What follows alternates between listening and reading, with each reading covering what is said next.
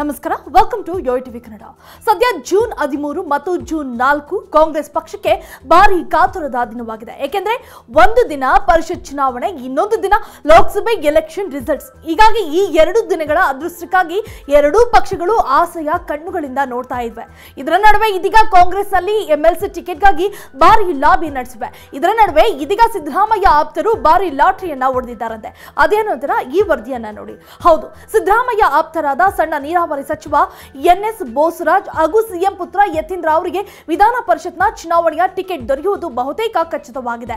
ಹಾಲಿ ಸದಸ್ಯ ಕೆ. ಗೋವಿಂದರಾಜ್ ಮತ್ತೆ ಟಿಕೆಟ್ಗಾಗಿ ಗಿಟ್ಟಿಸುವಲ್ಲಿ ವಿಫಲವಾಗಿದ್ದು, ಅವರ ಬದಲಿಗೆ ಡಿಸಿಎಂ ಡಿಕೆ ಶಿವಕುಮಾರ್ ಆಪ್ತ ವಿನಯ್ ಕಾರ್ತಿಕ್ಗೆ ಅದೃಷ್ಟ ಒಲಿದಿದೆ ಎನ್ನಲಾಗುತ್ತಿದೆ. ಇನ್ನು ಪರಿಷತ್ನ ಹನ್ನೊಂದು ಸ್ಥಾನಗಳಿಗೆ ಜೂನ್ ಹದಿಮೂರರಂದು ನಡೆಯಲಿರುವ ಚುನಾವಣೆಗೆ ಕಾಂಗ್ರೆಸ್ ಅಭ್ಯರ್ಥಿಗಳ ಆಯ್ಕೆಗೆ ಎರಡು ದಿನಗಳಿಂದ ದಿಲ್ಲಿಯಲ್ಲಿ ಕಸರತ್ತು ನಡೆದಿವೆ. ಎಐಸಿಸಿ ಅಧ್ಯಕ್ಷ ಮಲ್ಲಿಕಾರ್ಜುನ ಖರ್ಗೆ ಅಧ್ಯಕ್ಷತೆಯಲ್ಲಿ ಬುಧವಾರ ತಡರಾತ್ರಿ ನಡೆದ ಸಭೆಯು ಸಂಭವನೀಯರ ಪಟ್ಟಿಗೆ ಅಂತಿಮ ಸ್ಪರ್ಶ ನೀಡಿದ್ದು ಗುರುವಾರ ರಾಹುಲ್ ಗಾಂಧಿ ಒಪ್ಪಿಗೆ ಪಡೆದು ಘೋಷಿಸುವ ಸಾಧ್ಯತೆ ಇದೆ ಎನ್ನಲಾಗುತ್ತಿದೆ. CM Siddaramaiah DCM DK Shivakumar, AICC ಪ್ರಧಾನ ಕಾರ್ಯದರ್ಶಿಗಳಾದ ಕೆಸಿ ವೇಣುಗೋಪಾಲ್, ರಣದೀಪ್ ಸಿಂಗ್ ಸುರ್ಜೇವಾಲಾ ಸಭೆಯಲ್ಲಿದ್ದರು.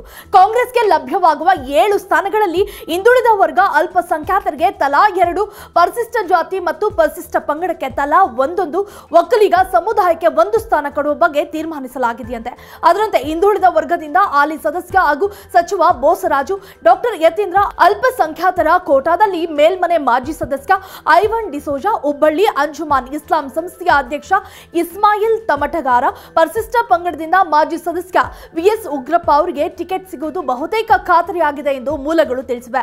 ಇನ್ನು ಪರಿಶಿಷ್ಟ ಜಾತಿಯಿಂದ ಇದುವರೆಗೂ ಪ್ರಾತಿನಿಧ್ಯ ಸಿಗದ ಕೊರಮ, ಕೊರಚ ಸಮುದಾಯಕ್ಕೆ ಅವಕಾಶ ಕೊಡಬೇಕು ಎಂಬ ಬೇಡಿಕೆ ಕೂಡ ಇದೆ.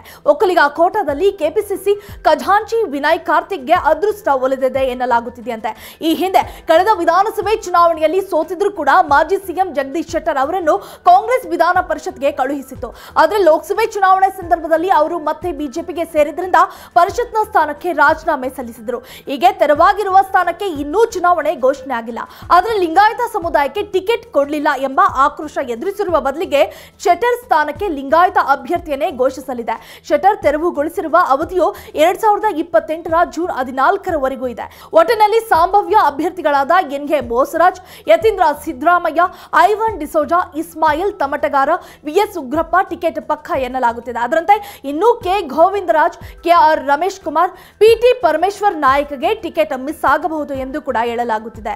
If you like this video ಬೇಗ ಲೈಕ್ ಮಾಡಿ ಕಾಮೆಂಟ್ ಮಾಡಿ ಶೇರ್ ಮಾಡಿ ಹಾಗೂ ಯೋಯೋ ಟಿವಿ ಕನ್ನಡವನ್ನು ಸಬ್ಸ್ಕ್ರೈಬ್ ಮಾಡಿ.